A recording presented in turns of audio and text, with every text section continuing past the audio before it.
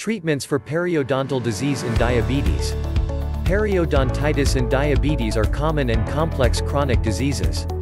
That is, poor control of diabetes is associated with increased prevalence and severity of periodontitis and severe periodontitis is associated with poor glycemic control. Treatments. Removal of tartar and plaque under the gums. Medication. Surgery. Oral sac reduction. Regenerative process. Soft tissue grafting. Treatments to prevent periodontal disease. Maintain proper oral hygiene measures. Brushing your teeth after every meal, at least twice a day. Examine your mouth regularly to detect problems early. Keep your blood glucose level at appropriate levels. Stop smoking, as it makes periodontal disease worse. If you wear dentures, take care of their hygiene and condition, and make sure they fit well and do not cause rubbing or injury. What foods or drinks should I avoid? Avoid caffeine.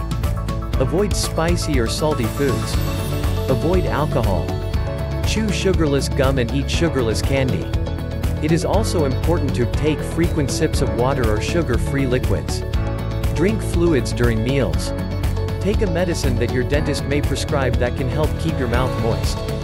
Dry mouth can be caused by medication, illness, cancer treatment or other damage to the salivary glands and neurological problems.